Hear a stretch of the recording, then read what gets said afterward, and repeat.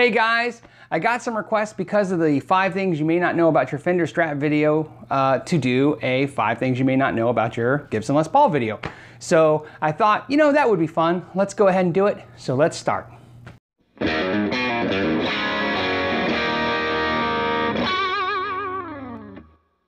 One, Burstbucker Pro pickup. The Burstbucker Pro pickup is not a high output pickup.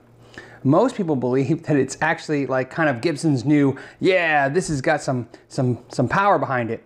The truth is, it's the lowest output pickup. It actually has less output than the 57 Classic. It's called a Burstbucker because it was originally seen on the Sunburst Les Pauls, and it actually was made before the technology of the 57 Classic where they were able to wind each coil evenly. So some of them have uneven coil winds, which gives it a kind of different sound, and they were pre-wax potting, so they don't are not wax potted as well, so they kind of have a feedback kind of issue. Now there's a Burstbucker 1, 2, and 3 and a Pro. Each one will have more output and be slightly different. However, keeping in mind, if you're looking for that vintage, low output Gibson sound, the Burstbucker is probably what you're looking for, even though you think it's the high output pickup. Number dose. Maple is heavier than mahogany. By square inch, it is going to give you more weight than mahogany does. Now, why is that worth mentioning? Well, it's because a lot of people believe the mahogany is where all the weight comes from. But that's why SGs and mahogany only Les Pauls tend to be lighter than Les Pauls with a maple cap. The maple caps very rarely are light, and so it's very hard to get a, a maple top Les Paul that isn't got some weight behind it. Three, the tailpiece on a Gibson Les Paul has an actual important purpose. If you look at the vintage Les Paul, the very first one, it had a single piece bridge, kind of like how Paul Reed Smith uses. Later it was decided to go to the two piece bridge, but there's a very important reason why. The tailpiece, by raising, raising it and lowering it, allows you to adjust the basically the string tension, the way it feels. One of the big tricks is to wrap the strings over the bridge, like seen there.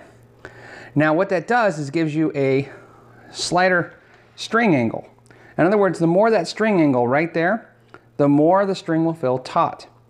One of the big things that other companies do is they'll do string through body, like you see here, and they'll actually stagger the string. See how different ones can have a longer distance to change that break angle over the bridge.